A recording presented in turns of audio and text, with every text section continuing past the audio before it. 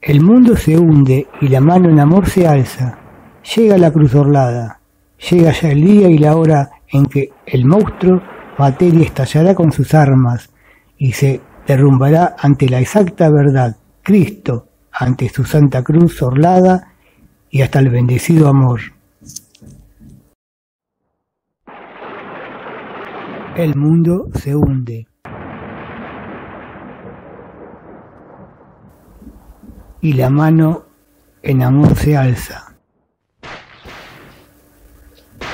Llega la cruz orlada.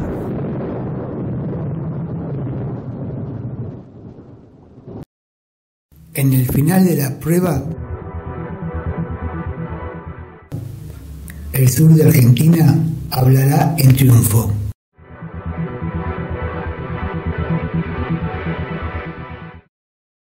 Allí será el nacer del mañana. Neuquén, brújula de brújula.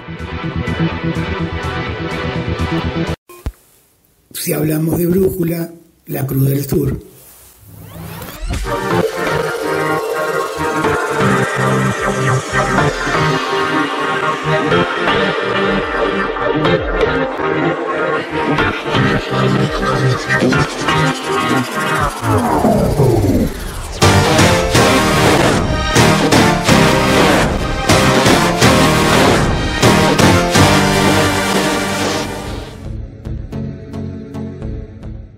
Solo hay que seguir la Cruz del Sur.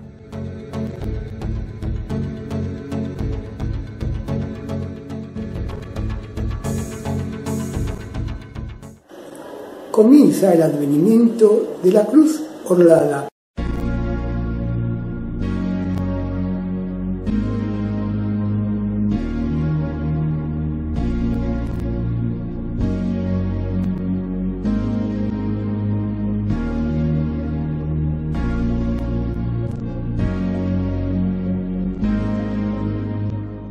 Aunque el hipócrita Caretón lo impida, comenzará el amor.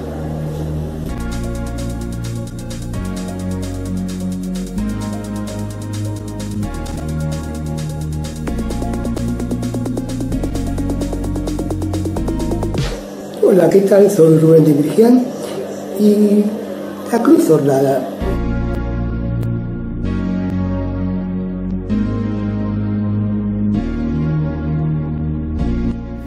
Comienza el advenimiento de la Cruz Orlada. Aún pide el caretón hipócrita de la civilización revolucionaria y el martillo de la gastada voz que fue rebelión y cae.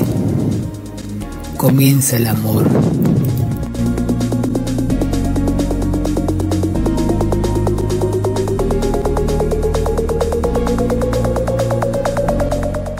Lo que revela la cruz orlada. La cruz orlada es una cruz similar a la cruz griega, sagrada, de las, de las culturas precristianas. Tiene los brazos idénticos, iguales. Dos brazos abiertos para recibir a la gente.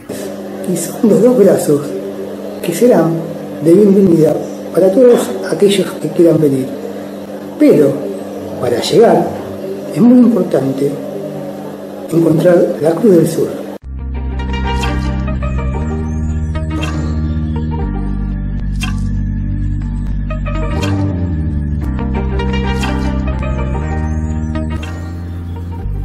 Distintas razas, distintos pueblos llegarán al triángulo del cono sur, llegarán a la Argentina.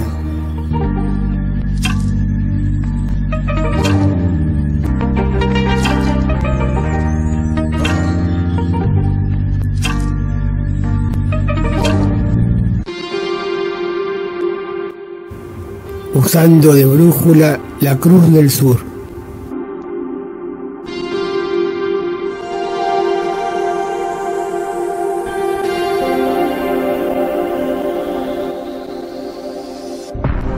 Solo hay que seguir la Cruz del Sur.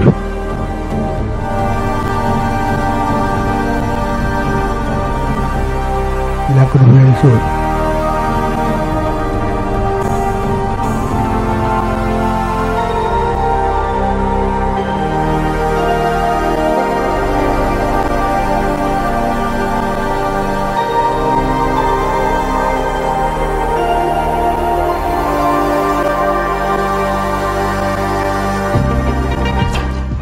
Más cerca estemos de Dios y de la luz, más preparados estaremos para afrontar los acontecimientos.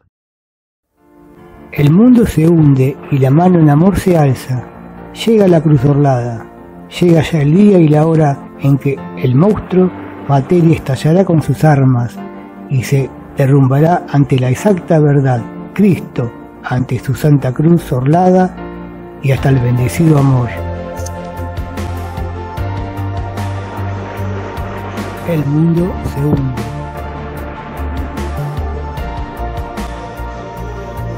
Y la mano en amor se alza.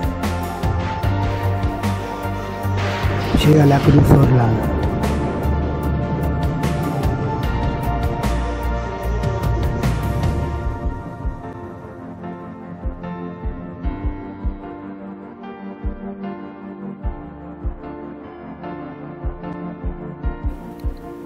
El mundo se hunde y la mano en amor se alza, llega la cruz orlada.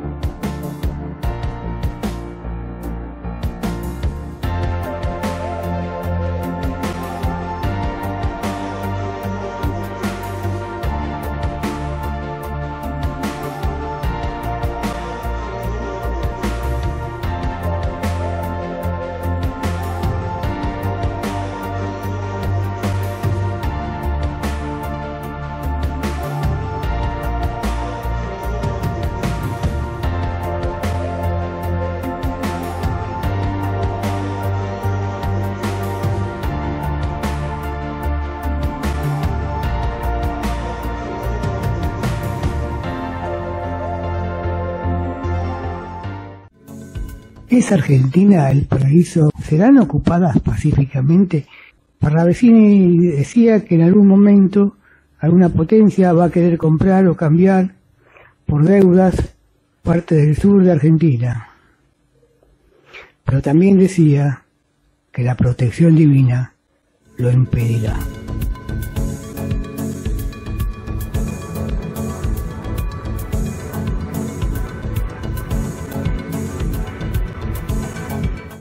Antes de volver a Parravicini y sus psicografías, vamos a escuchar eh, lo que dice Javier Ordóñez de su canal El grano del sistema, Populus, sobre el tema de despoblación, a ver si podemos razonar juntos. Veamos lo que dice. Hace unos años recibí la información del estimado de población para el 2025 en todos los países del mundo. Llamaba la atención la drástica disminución en muchos países, en especial del primer mundo. Yo recién comenzaba a manejarme solo y en marzo de 2016 me hackearon y perdí todos los archivos. Ahora los tengo en dispositivos externos, por ello es que perdí esos datos de población. Mi colaboradora Stella Maris trató de buscarla y desapareció de la web. Solo consiguió los datos de seis naciones. Paso a detallar y luego los comentarios. Observen este detalle. ¿Eh? Canadá, 2017, 36 millones. 2025, 26. Inglaterra, 2017, 66 millones. 2025, 15. Estados Unidos, 2017, 327. 2025, 100. Alemania, 2017, 81. 2025, 28. Francia, 2017, 67 millones. 2025, 39. Australia, 2017, 23 millones. 2025, 15. En ese momento no entendía nada. Ahora con el tema de la vacuna está claro el panorama. Yo no sé si esto es meter miedo o es una realidad. Lo sabremos pronto, ahora hablando de pocos años, cinco años más, cuatro años más. Recuerdo que Argentina mantenía la población, ese dato lo perdí, pero se acuerda que mantenía la población. Es decir, padecía la misma cantidad de gente que nacen. Si los datos iniciales son de 2017, se deduce que varios millones van a aparecer, pero no la cantidad de esos países. O que sí habría una mortalidad grande y una gran inmigración hacia aquí. No olviden que por esa fecha surgió una información de los servicios norteamericanos en lo que estimaban una gran migración a América del Sur para esta década. Falta poco para ver qué hay de cierto en todo esto. Según informes de servicios estadounidenses, al mismo tiempo que desaparece población en estos países nombrados del primer mundo, hay una emigración hacia la Argentina, hacia América del Sur, hacia el sur de América del Sur. Y esto no es de extrañar, pues dicho hace tiempo por Parravicini en psicografías, Argentina y sol de raza. Sur del gran triángulo que cobijará todas las razas, religiones y banderas. Esas razas distintas, esas religiones distintas y esas banderas son las que queden de la humanidad. Esa Biblia y muchas otras, como las supuestamente destruidas en la Biblioteca de Alejandría en Egipto, ocultadas celosamente al conocimiento masivo, marcan con exactitud cronológica y cronométrica las distintas fases del cambio que nos conducirá a este nuevo tiempo.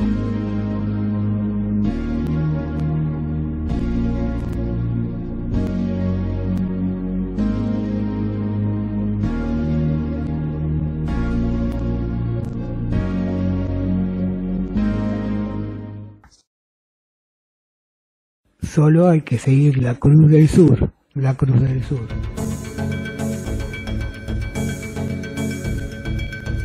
El sur del Gran Triángulo.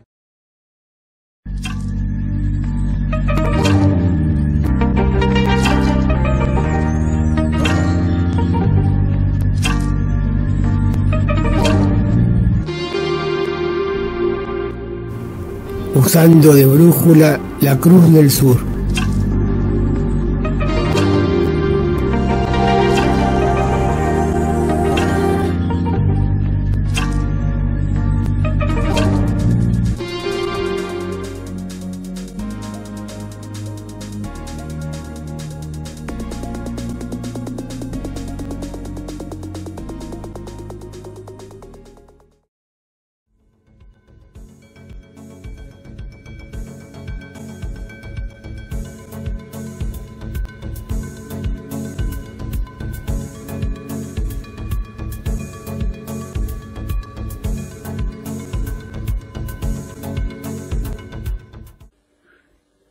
Ravesini le decía a Pedro, a su discípulo, Pedro Romaniu, que Argentina vería llegar a más de 300 millones de personas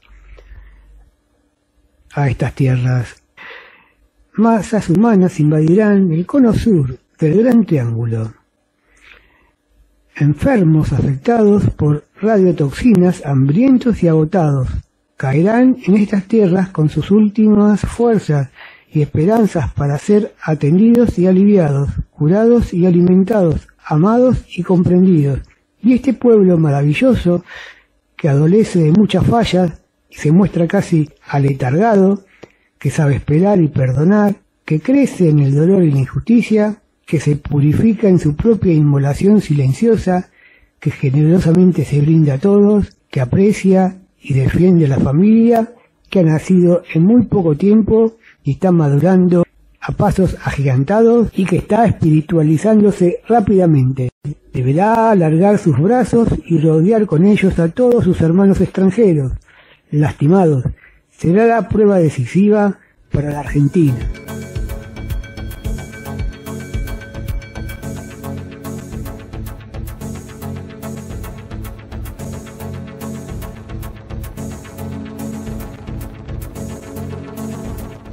Será la prueba decisiva para la Argentina. La Cruz del Sur está representada en la bandera de la provincia de Tierra del Fuego, Antártida e Islas del Atlántico Sur. También banderas y escudos de Santa Cruz, La Pampa, y de varias bases de la Fuerza Aérea Argentina.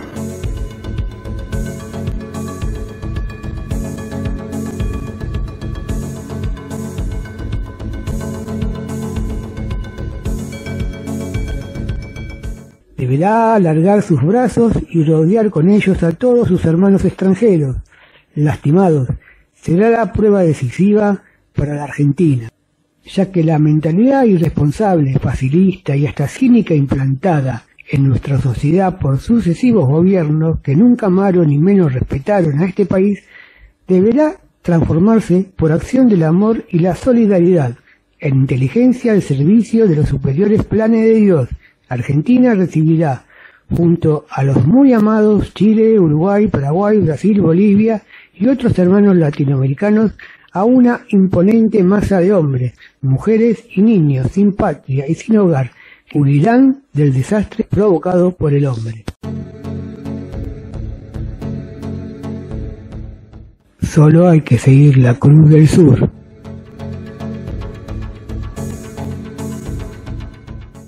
Cuanto más cerca estemos de Dios y de la luz, más preparados estaremos para afrontar los acontecimientos. En todas las tradiciones culturales, esta constelación posee un significado especial. Entre los indios de Buenos Aires y la Patagonia y de la Pampa del siglo XVII y XVIII, da origen a la Cruz del Sur su relación con un avestruz que dejó impresa su pata en el firmamento. Ello ocurrió cuando en una cacería fue avistado y el avestruz fue perseguido hasta ser acorralado en un barranco. Entonces el mismo trepó por un arco iris que tocaba el borde del abismo, desapareciendo en el cielo. Uno de los cazadores le lanzó una boleadora que también se perdió. En la bóveda celeste el avestruz estampó la huella de su extremidad creando el conjunto de estrellas denominado Cruz del Sur.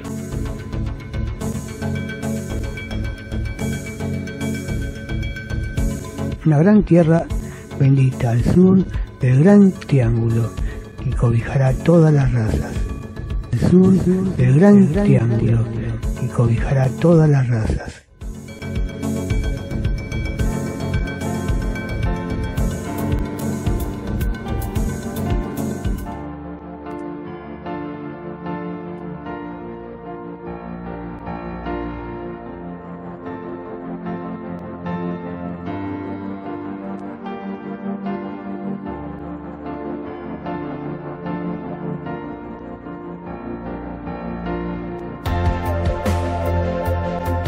Unificación de ideas y religiones.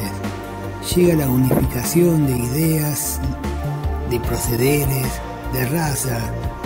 Unificación de la Babel mundana.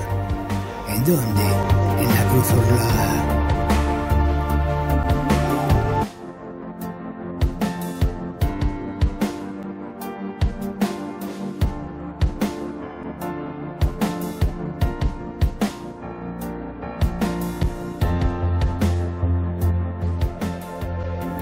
Distintas razas, distintas religiones, distintos eh, comportamientos y culturas, estas, estas psicografías de, estos pueblos eh, serán encontradas en abrazos en nuestro triángulo del cono del sur, porque llegarán razas distintas, pueblos distintos, de banderas que aún quedan y de algunas que no. Ellos estarán en, nuestros, en nuestros territorios y nosotros le abriremos los brazos.